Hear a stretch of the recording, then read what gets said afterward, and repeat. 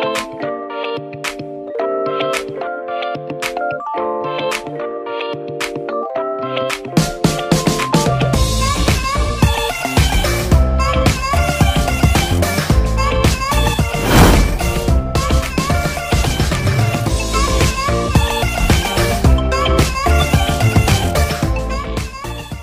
hi guys, it's me again, Mike. So, for today's vlog, uh, mag-unbox tayo ng cellphone. Dahil 2021 na, ang i-unbox natin cellphone ay may 21 sa huli. So, kung dati nag-unbox tayo ng Samsung A70, hindi ko na na-vlog yung iba kong ano dati, mga video about sa unboxing. A70, tapos nag-unbox din tayo ng A71, at uh, nung siguro mga 2 years nakalipas, eh, nag-unbox tayo ng paborito kong cellphone na pa-birthday ko nga sa akin, si Samsung S10 Plus. At dahil nga 2021 na, ang i-unbox natin ang cellphone na may 21 din sa uli. So siya si Samsung Samsung Galaxy, you know, S21 Ultra 5G. Puta brad, ganun ka kayaman! So, Shoutout nga pala kay kapatid na Glyza Linatok. So, maraming salamat Ate Glyza at uh, tinulungan mo ako sa pag-purchase nitong cellphone na to na dapat niya laptop eh. Kaya may konting sermon sa iba. Diyos ko po, Diyos ko po! So, for today's vlog, i-unbox natin si Samsung S21 Ultra 5G. So, meron siyang dalawang meron siyang dalawang ano, kulay. May Phantom White tapos, ang kinuha ko ngayon, si Phantom Black. So, ganito ang itsura ng box niya. Ayan, o. May Samsung dyan sa gilid. Okay. Okay. Galaxy. Tapos sa baba, meron siyang, ewan ko nakikita ba? Ako na lang magbabasa. Hindi ata kita. So, itong kinuha ko is si, si Phantom Black. At eh, ang internal memory niya is eh, 254 gig. Tapos ang RAM niya is eh, 16 gig RAM. Okay? Siya si Phantom Black. So, unbox na natin guys. Huwag natin patagalin.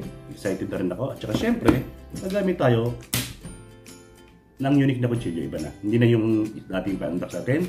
Dahil 2021 na. Ah, iba na yung pa-unbox natin. So, black din. Okay? So, game na. Pangkatay ulit naman ako. So, let's go. Okay. Dalawa pala tape niya. Talagyan natin. So, ito na. The moment of truth. Okay. Dahan-dahan. Baka bumagsak. Ayan na siya.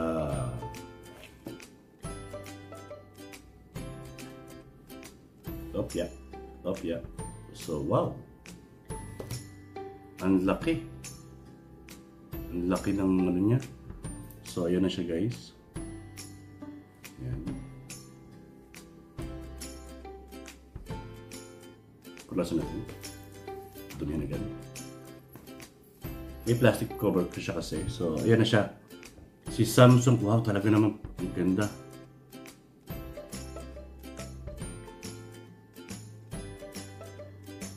So, first time ko lang guys mag, uh, ano neto, magtatanggal neto.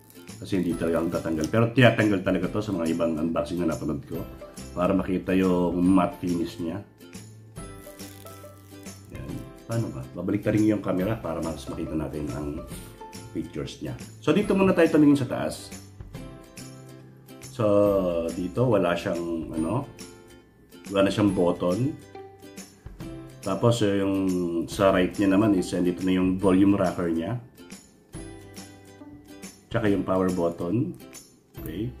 Tapos sa baba naman niya eh si ano na siya, si USB Type-C. Tapos speaker niya is eh, may speaker siya sa baba at mayroon din siyang speaker sa baba. Ah, sa taas. Then, at may dalawang microphone sa taas. Tapos eh, yung... Ngayon lang tayo nag-unbox na inuna natin ng phone. Bago, yung nandito sa baba ng ano, 2021 na kasi. So, ibahin natin ang style ng pag-unbox. So, ganoon na nga siya. Tapos, ito, ito yung camera niya. So, mamaya natin pag-usapan about sa camera. So, sige, baba mo natin ito rito.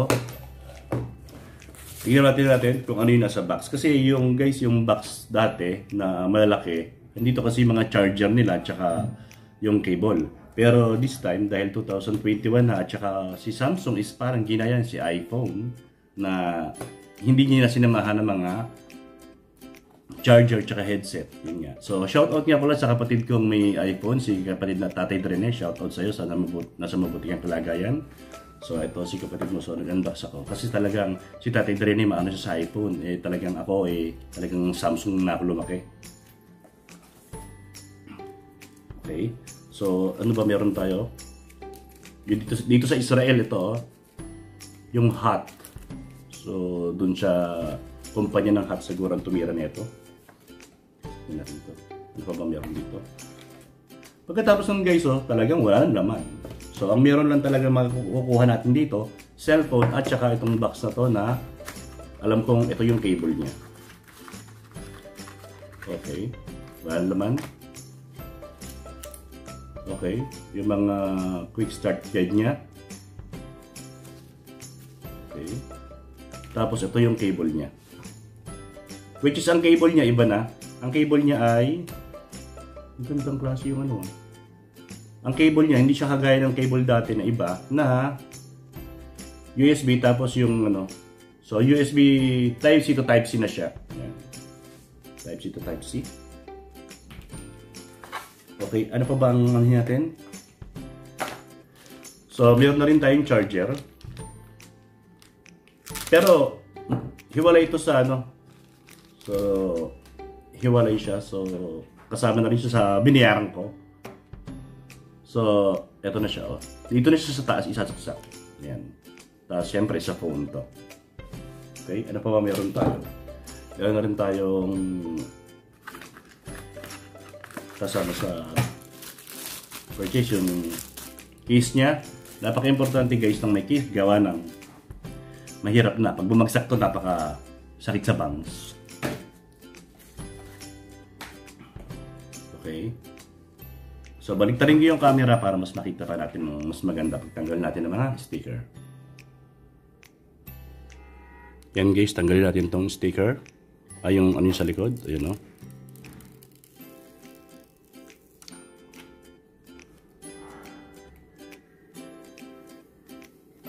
Wow. Talaga naman napakaganda. Ayan yung camera niya.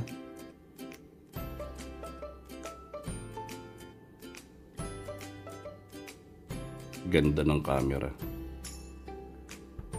Yan, so matte finish. Sarap hawakan ha. Uy, may plastic pa kasi kaya nadumihan. Tagil sa atin. Yan.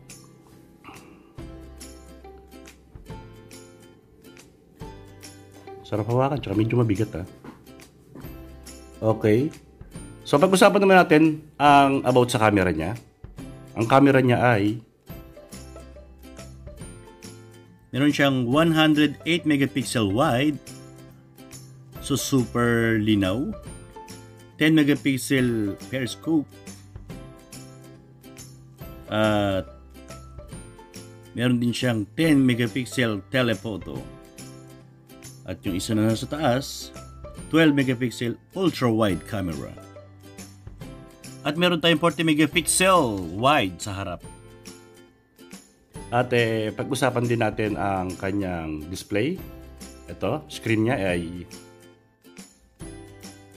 6.8 Dynamic AMOLED display. So dito nga pala sa box, dito na rin sa likod niya yung yung panundot o yung SIM injector. SIM injector, okay. Yung pansaksak niya para pagtanggal ng SIM card niya. So, tanggalin natin. Saan ba yung sinusundot dito? Okay. Ah, dito sa baba. So, makita natin yung SIM card tray niya. Okay. So, angat tayo ng konti. Okay. Uy! So dito guys, meron na lang tayong lagayan ng lagayan ng SIM card. Wala tayong lalagyan ng memory card kasi yun na yung binago ni Samsung ni Samsung S21 Ultra wala na siyang expandable memory na which is nakakalungkot.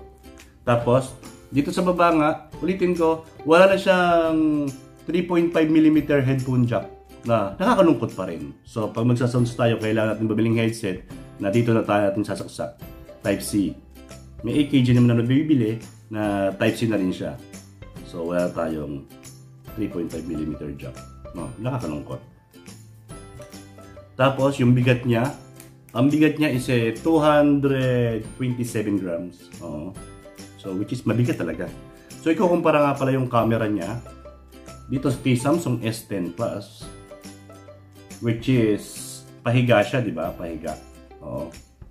So, patayo na rin siya. Oo, so ganyan. So, both flagship to. Ito eh, dalawang taon na ata mahigit sa akin nung binili ko. Tapos ito siya ngayon, 2021 model. Flagship ni Samsung, si Samsung Galaxy S21 Ultra 5G. Tapos kung ikukumpara pa sa isang cellphone na tanggalin ko. Si Samsung A70, ang camera niya pahiga, which is ito ay sa patagilid. Ito patagilid din. So ilan na camera ito? Tatlo. Ito ilan ba to? Ito rin yung tatlo. Pero meron siyang 10 times zoom. Ito naman, meron siyang 108 space zoom kung tawagin. So, super layo nang kayang marating o kayang ma-zoom nitong camera na to. Okay. Tapos eh, meron na rin siyang yung yung screen niya. Corning Gorilla Gra Glass Victus. IPX, ano siya? IPX68. Dust and water resistant. Ayan. At yung camera nito guys, kaya nang kumuha ng 8K videos resolution. Which is, eh, aba, super linaw nun at super detalye.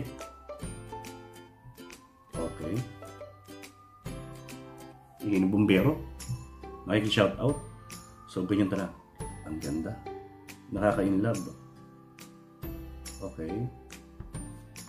Tsaka guys, yung screen nga pala niya, ano na siya, supported na siya ng S Pen. So, di ba ang S Pen nagagamit lang sa mga Note series? So, siya, nagagamit na rin siya sa Note. So, buksan natin siya.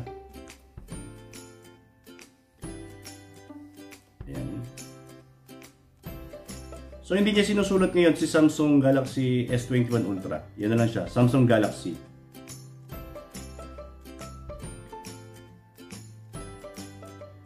Okay. Ay, medyo matagal ah.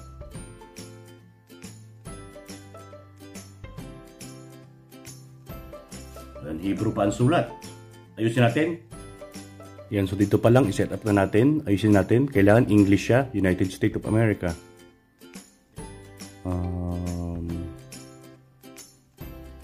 United States of America. Okay.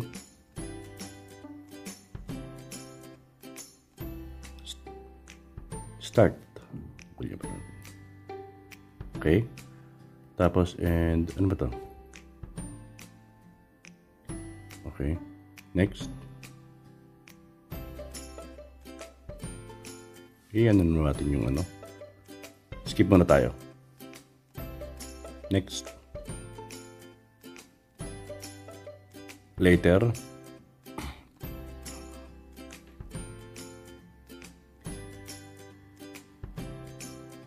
Galaxy Android. Agree.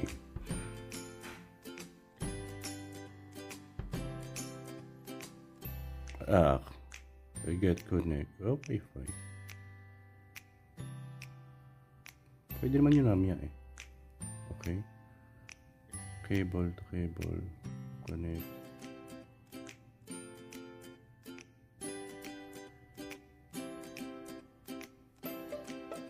Mamaya na yun eh.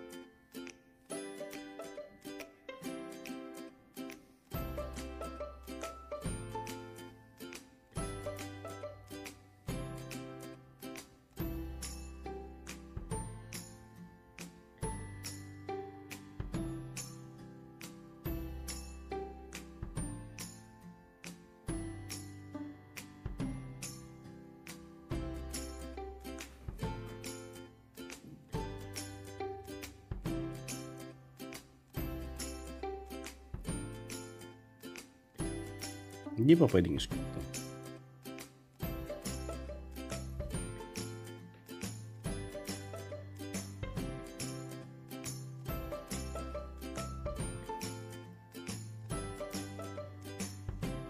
Okay, don't copy. Checking for info.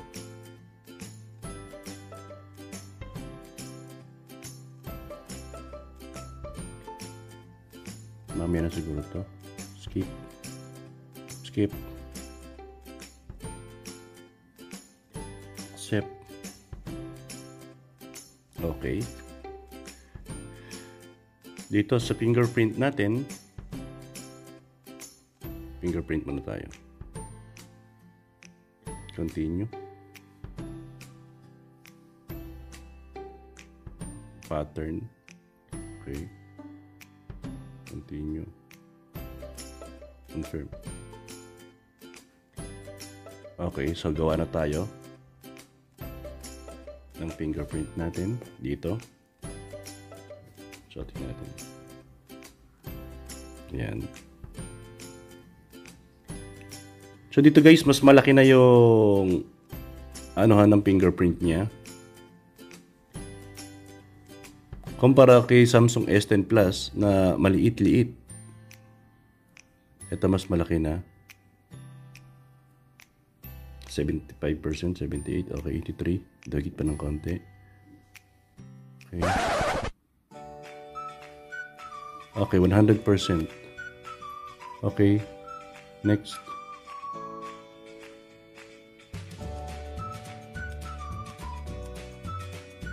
Uh, skip muna. Skip muna. Yeah, okay. Finish.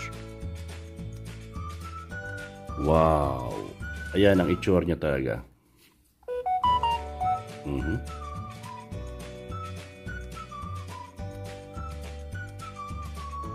Cancel muna. Yan. Oops. Done. Yan. So, yan ang forma o yan ang datingan talaga ni Samsung S21 Ultra 5G. Ganda.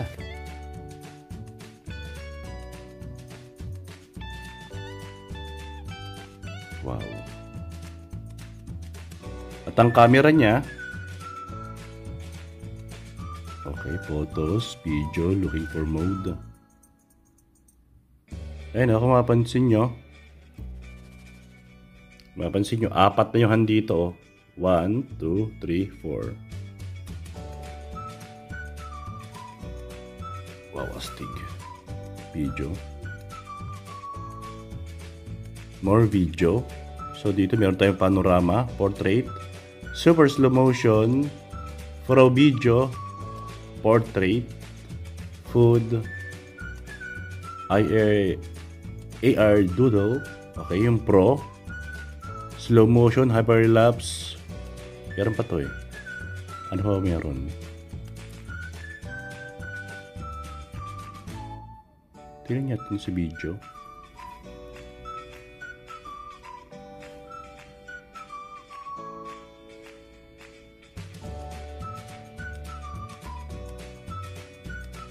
Full HD. Okay. So sa photo tayo tingnan natin. Tapos tingnan natin yung unang selfie natin sa camera na to. Bright, natural, bright. Okay, balik rin natin. Okay. So, tapos na natin i-set up siya, no? So, gawa muna tayo na ating first selfie. Tingnan natin kung gano'n siyang kalinaw o kung gano'n siyang kaganda. Okay, tingnan natin. First selfie natin. Ayan. Ako bumagsak.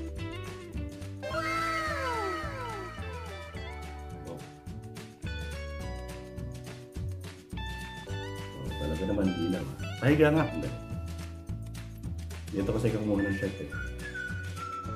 Yan, okay. Wow. Talaga naman ba linaw niya? Oh. Diba? Stay. So, i-charge ko pa siya kung ano man yung ibang setup tsaka yung So ito na yung gagamitin natin ng phone pang vlog dahil meron nga siyang vlogger mode. So itatry natin yan sa mga susunod pa. Tapos yun, siya. Ito yung plastic sa harapan. Sino tatanggal tayo ng plastic? Okay. Talaga naman. Woo! Premium na premium. Gawa ng ano siya, flagship siya, o eh, flagship siya ni Samsung Galaxy. So, ang price nga pala nitong Samsung S21 Ultra 5G. Sa, sa Israel ito, nabili ko siya ng 4,600 shekel. So, medyo pricey talaga. At sa Pinas naman, ang price niya is eh, ano, um, tago to? Magkano ba sa Pinas? 69,000 69,990. So almost 10 piso na lang, 70,000 pesos na siya. Puta Brad, ganun ka kayaman! Pero sulit na naman. So yun lang guys, maraming salamat po ulit sa panonood. At maraming salamat sa pagsama sa premiere na to. Siyempre premiere ulit yan. So maraming salamat po sa mga sumusuporta sa aking vlog. Um, shoutout sa Team Final 10. Doon sa mga kaibigan ko na napapasana all, eh, sana all ba talaga? Sabi kasi nila, lagi na lang kami napapasana all. Sana kami din. Eh, pasensya na kayo, maluho lang kasi ko ng konti. Inaamin ko naman. Kaya lang eh. Kaysa, kaysa bibili pa ako sa Pinas, mas mahal. So dito na ako sa Israel bumili. Tapos kaysa bumili ng mga GoPro, so maganda na ka rin camera nito. Ang temano kasi, ginagawa ko, pag uh, yung lahat ng vlog ko guys, um, dito ko ini-edit sa, sa phone. Hindi na ako nag-edit sa laptop. O, ano, lahat ng vlog ko na napapanood nyo, sa phone lang talaga na-edit. Dahil hindi marunong. you serious? Sa laptop. Ewan ko, baka pag-aralan ko pag uwi ko sa Pinas. Pero talagang sa ano na ako. So try nga natin yung casing niya, maganda. Sige. Nawawala, nawawala, nawawala.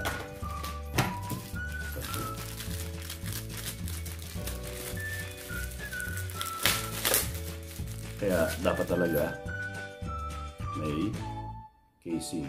Kasi dito,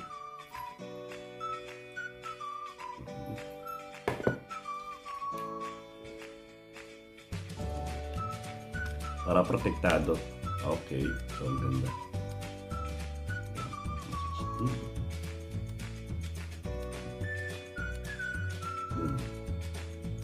Tingnan natin kung anong ka-responsive ang ano niya.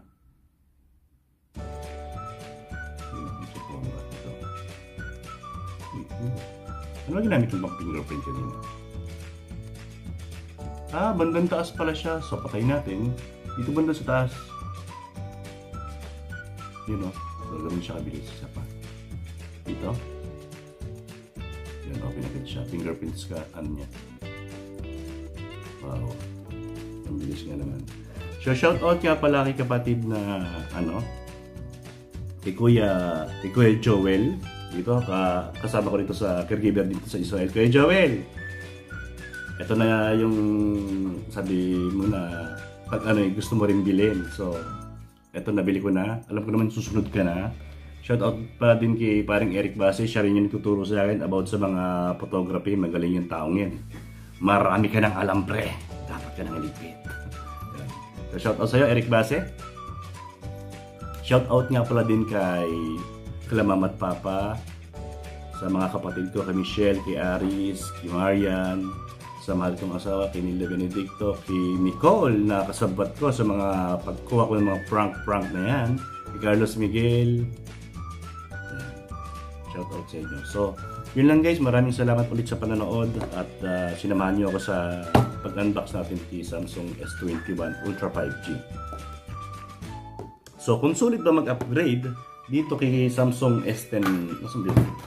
Kay Samsung S10 Plus or Samsung S20 Ultra, tingin ko mas maganda kasi kay Samsung S21 Ultra ay uh, meron siyang mga reklamo about sa camera pero this time binago na ni Samsung S21 Ultra 5G. So mas pinalupit na yung camera, inayos na yung zoom niya is eh, malinaw na. So na-fix ni Samsung. So maraming salamat Samsung kaya lang kinuripot mo ako. Diyos ko po, Diyos ko po! Hindi mo binigyan ng charger. Hindi mo ako binigyan ng headset. So, which is okay lang naman. Papatawarin kita. Huwag mo nang ulitin next time. So, maraming salamat ulit guys. Tapos natin itong vlog na to. This is your kapatid PYT, Michael Benedict. God bless po sa lahat. See you on my next vlog.